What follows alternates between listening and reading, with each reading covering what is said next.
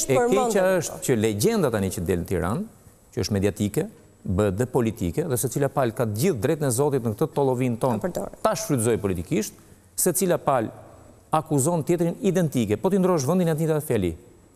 Rublja çorba, pra supa e rublave, akuzon Rama, sapo dëgjuam Berishën, përfaqësues i rusëve në Shqipëri që nga Damian Gjiknuri. Dhe në të dy palët ne jemi rus.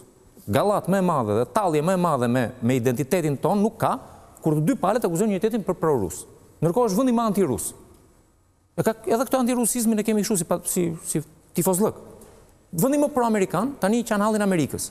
Dhe nuk pyet fare se çfarë thotë Amerika për ne, që jemi vend i korruptuar, që jemi vend që kontrollohemi nga droga, që vidhen zgjedhjet, që korrupsioni është në nivelet më të larta, që drejtësia nuk funksionon, që partitë politike paguajnë më shumë se çfarë kanë kapacitete. E të gjitha këto nuk i dëgjojmë kur i thotë Amerika. Por për të lobuar. Po. Nuk i thotë, nuk i dëgjon njeri nga këta kur flet Amerika. I dëgjojmë kur na interesojnë. Pra kemi një çështje që i përket drejtësisë amerikane dhe profesionalizmi i tyre fillon ke ajo që është qind për qind e provueshme, që ti zotëri s'ke plotësuar formularët, nuk ke deklaruar ato gjëra, nuk ke deklaruar para. Këtë e kemi provën. Se ku çon kjo nuk e dimë. Në Shqipëri akuza fillon kështu.